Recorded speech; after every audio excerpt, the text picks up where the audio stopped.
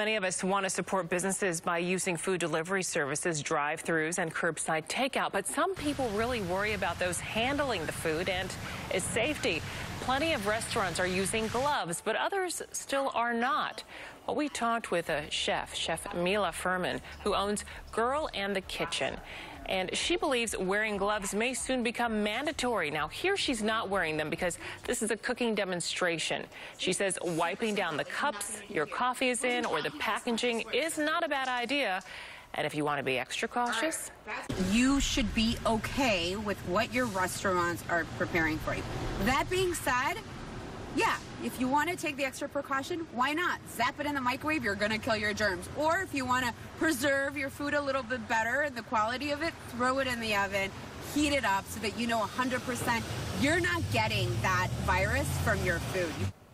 Chef Mila says she doesn't fear eating takeout food. She says restaurants already have to follow strict guidelines by the health department. And if you're looking for new ideas, by the way, she's going to be holding virtual cooking classes and will also have recipes on her blog at Girl and the Kitchen.